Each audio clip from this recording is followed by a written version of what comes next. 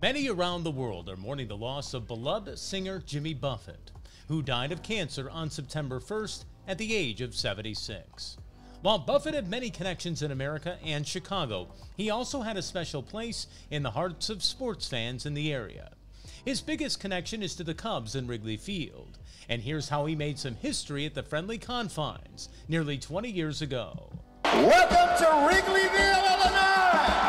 On September 4th and 5th, 2005, Buffett became the first to perform a concert in the long history of the ballpark as part of a Salty Piece of Land tour. The Cubs paid tribute to that on social media, writing, Thank you for introducing Wrigley Field to the world as a concert venue.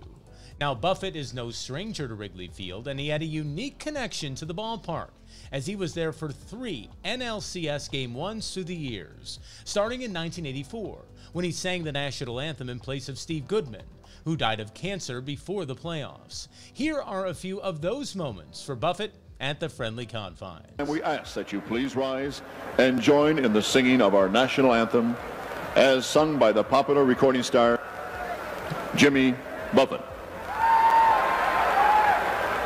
This is for Steve Goodman.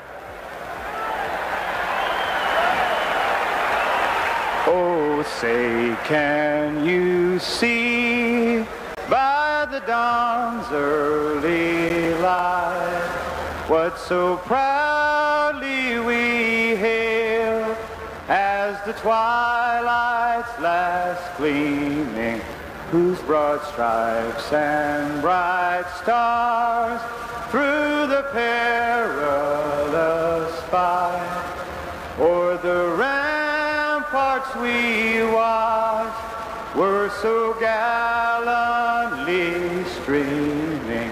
And now to honor America, please welcome popular entertainer Jimmy Buffett, who will lead us in the singing of our national anthem. Oh, say, can you see by the dawn's so proudly we hail at the twilight's last gleaming, whose broad stripes and bright stars through the perilous fight o'er the ramparts we watch were so streaming. Now, Buffett did not have the anthem for Game 1 of the 2003 NLCS, but he was part of the festivities around the game against the Marlins, singing the seventh inning stretch at Wrigley Field. He also sang the Take Me Out to the Ball game in 1998, among the original group of guest singers after the death of Harry Caray. Now, the Blackhawks had a connection to Buffett, and it was thanks to Patrick Kane, who brought the Stanley Cup to the shows when the team won it in 2013, 2010, that was the first time, and then 2015. On social media, Kane had this tribute, writing, RIP to a legend. Some of the best nights ever backstage and on stage with you and the Stanley Cup. Always thought there would be another one. Cheers, Jimmy.